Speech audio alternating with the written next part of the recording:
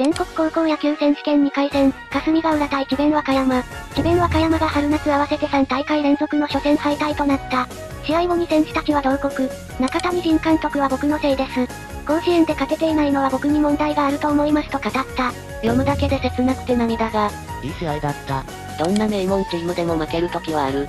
強豪だろうが負ける時は初戦で負けるのが野球。智弁和歌山も本当によく追いついたと思う。甲子園に来るだけでみんなすごいことなんやけどな。誰のせいでもない。負けたけど敗者ではない。2者連続ホームランはすごかった。感動した。想定以上に相手ピッチャーが良かった。想定以上に自チームのピッチャーが相手に打たれた。それは監督が悪いのではなく相手が強かったということ。辛すぎる、強豪の意地を見せてもらって超いい試合だった。こういう自分の責任思考はあまり好きじゃない。悔しい試合だったよな。もう引き分けでいいやんって思ったもん笑い。誰のせいでもない。相手が上回っていただけのこと。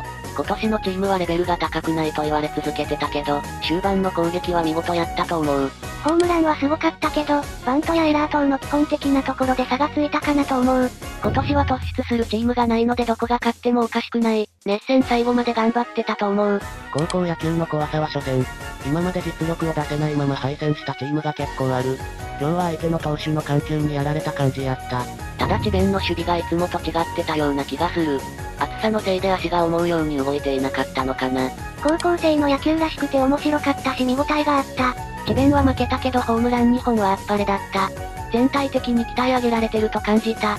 中盤まではさておき、終盤は完全に智弁の流れになりながら、勝ちきれなかったのは残念やな。頑張った結果の勝ち負け、仕方ない。まだまだ経験を積んでいずれ名将になってほしい。